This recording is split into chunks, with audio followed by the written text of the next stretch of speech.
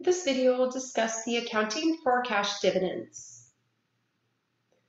When a corporation declares and issues dividends, there are three important dates that we need to use in order to determine the accounting for them. The first is the date of declaration. On the date of declaration, the board of directors announces that the corporation will be paying a dividend.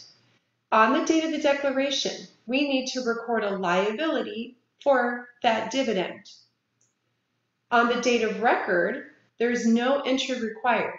The only thing that occurs on the date of record is the corporation identifies who owns the stock to identify who will receive the cash dividend payment. Nothing is needed to be recorded in the general ledger. Finally, the date of payment. On the date of payment, the liability that is recorded is then paid. Let's look at the data declaration.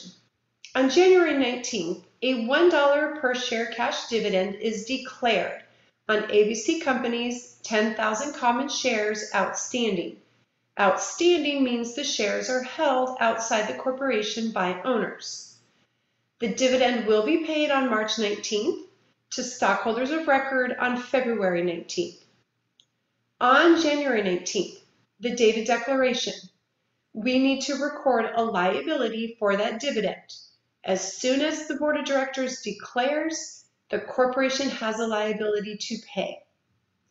Because dividends are paid out of the company's accumulated profits, and accumulated profits are recorded in retained earnings, we need to decrease retained earnings by the amount of the dividend because that is decreasing to pay this dividend. The amount of the dividend is $10,000, which is $1 per share times 10,000 shares outstanding. The liability will be credited common dividend payable for the amount of $10,000. On the date of record, the corporation is simply identifying who owns that stock. In the accounting department, there's nothing that needs to be done because no journal entry is required on the date of record, which is February 19th.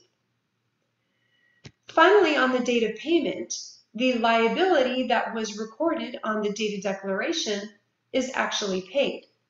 So we only need to record payment of cash, decreasing the liability to the stockholders.